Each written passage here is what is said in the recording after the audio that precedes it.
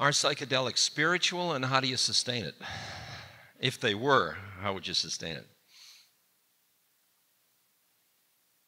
Well, when my guru took 1,200 micrograms of LSD and nothing happened, which is roughly at least four to six doses, uh, it gave me pause. because I certainly assumed something would happen. I mean, I, I was one of the specialists in that field, as you can. And I knew it was good acid, and so.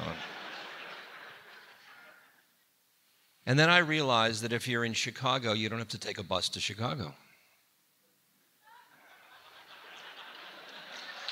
Yeah. That, that it was like drinking water for him. Because for me, who was stuck here, to override the habitual thought patterns that kept me stuck here to show me that, I needed to blow my brains out. I mean, not blow my, but drug my mind, all chemically alter my synapses in order to allow that override of the computer program. And um, he had done that somehow or other. I don't know, sat in a fire or whatever he did. And, and so he was there and here and not here and not there. And so whatever it was you take to go from A and B, if you're in both B and A, nothing happens. Okay, that makes sense to me. So he said these were known about long ago, he said thousands of years ago, like the mushroom stuff and all those stones that they found connected with all the different mystery schools. He said, but most of that was forgotten along the way.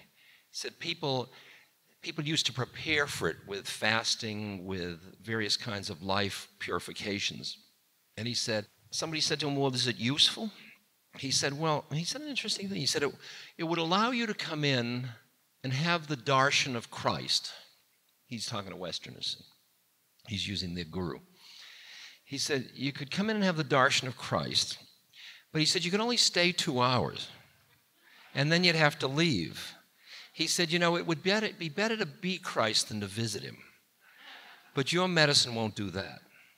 Okay? That was the closest I got to a, his evaluation of what it was about. Um, what I have experienced is that psychedelics, in, when used sacramentally, well, I don't know how, when used, but I think used sacramentally, have the potential to show you where you where you're stuck and where you close down, and it shows you once again the innocence that lies behind concept. Um, as your life goes on, I've been since 1961 when I first ingested psilocybin, 30 years of spiritual practices, changing my life, reorganizing. My life is such now that I would say that psychedelics are pretty irrelevant to me. Uh, they're not my, I'm not my guru and I still learn something. I mean, as a as part of the research history of this whole movement, every three years or so, two three years, I'll take LSD somewhere on some island somewhere where it's legal, of course, um, to reassure, to see whether I've forgotten anything, whether there's something new to learn. And I learn something, I remember something again, but it seems less and less significant over time. And what I've seen is that a lot of the other spiritual practices don't play upon the fact that I need something external to myself in order to be who I am. Right? In other words, this is still, this is going to let me be who I am. And I'd like to go behind that to be who I am, independent of whether I have this or not. You, you hear what I'm saying? So um, I found it very useful to. Um, I mean, I do a lot of spiritual practices off and on in different ways. And I, I feel I'd be a, a hypocrite if I didn't honor the role psychedelics have played in my life. And at the same moment, I don't think it's the full ballgame.